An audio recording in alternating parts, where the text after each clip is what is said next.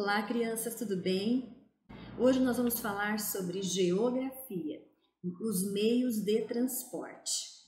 Nós vamos trabalhar a página 187, 188 e 189. Nós vamos perceber que os meios de transporte, eles são muito necessários hoje em dia, principalmente para transportar as pessoas e também para transportar mercadorias e produtos.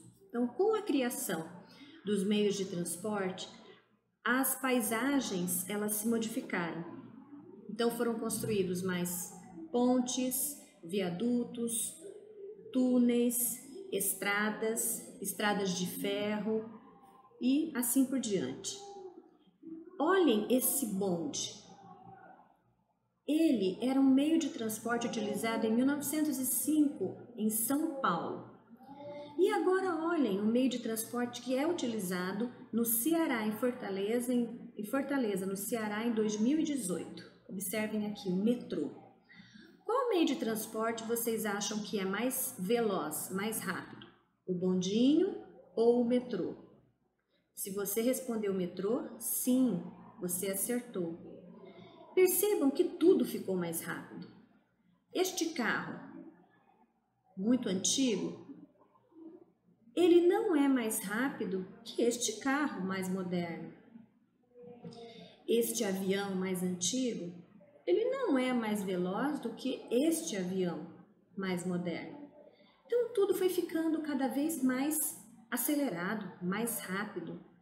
A sociedade ficou mais acelerada.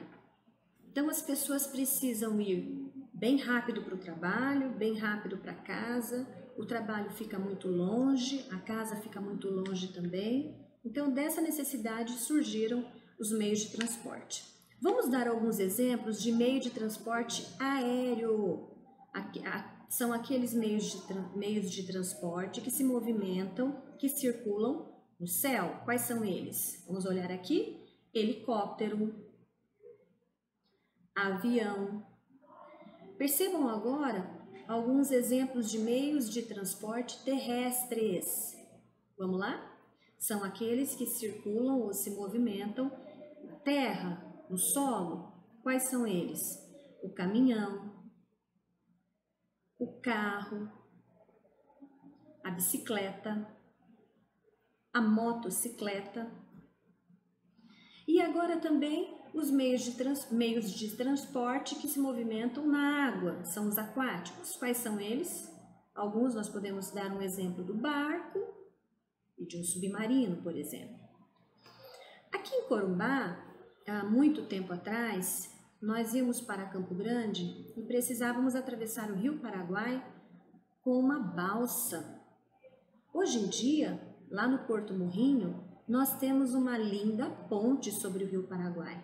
Percebam como nós é, podíamos viajar para Campo Grande atravessando o rio Paraguai, precisávamos dessa balsa aqui. Com o decorrer do tempo, é, foi se observando que era necessário um outro meio de um outro meio de circulação. Por isso foi construída esta ponte.